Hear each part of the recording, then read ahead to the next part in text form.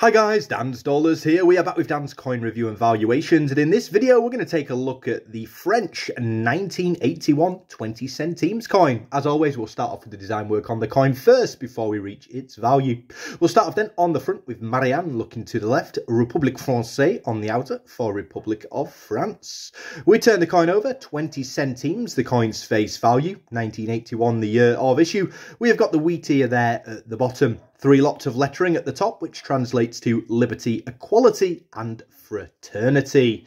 As for the overall value of the coin, two to three pounds perfect uncirculated, 20 to 30 pence for a circulated coin. And again, a lot of these do turn up in mixed job lots off eBay, etc. So you definitely can profit when it comes down to these coins. As always then guys, if you've got a coin at home, you want to see it in a review and evaluation video on the channel, please do comment it in the comment section below. If not, enjoy the rest of your day, stay safe, and as always guys, thanks for watching.